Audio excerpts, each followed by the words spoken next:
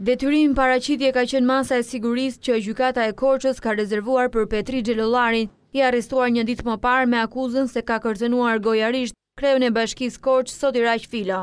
E njëjta masë sigurie u kërkua edhe nga Prokuroria, ndërsa avokatët mbrojtës të Xhelollarit, kërkuan që edhe arrestimi të cilësohet i paligjshëm dhe që Xhelollari të lihet urgjentisht i lirë. Avokatët gjithashtu pohuan në sallën e gjyqit se do të bëjnë kallëzim në Prokurori ndaj kryebashkiakut Sotiraq Filo për kallëzim të rremë.